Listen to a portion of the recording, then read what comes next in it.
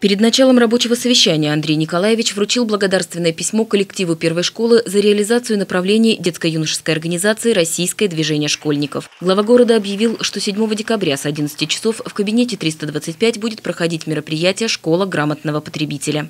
Данный проект идет под эгидой «Единой России», это партийный проект. Э, сюда прибудут специалисты.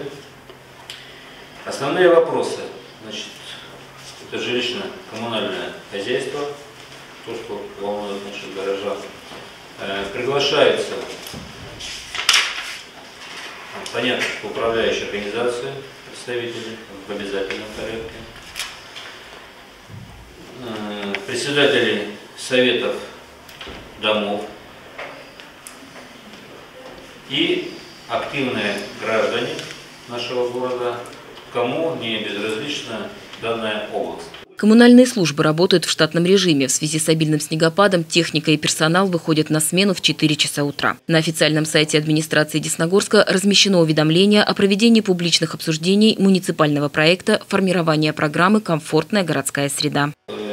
Пользуясь случаем, я хочу обратиться к населению нашего города, принять самое активное участие в обсуждении данной программы потому что э, результат и качество выполнения этих работ будут зависеть в первую очередь непосредственно от жителей.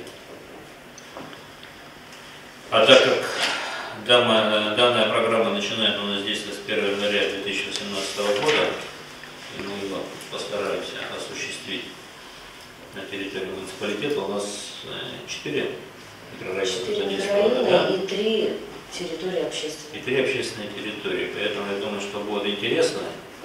Вот. И мы принимаем э, любые предложения, замечания для того, чтобы этот документ воплотить в жизнь. Инфекционные заболевания в городе регистрировались на обычном уровне.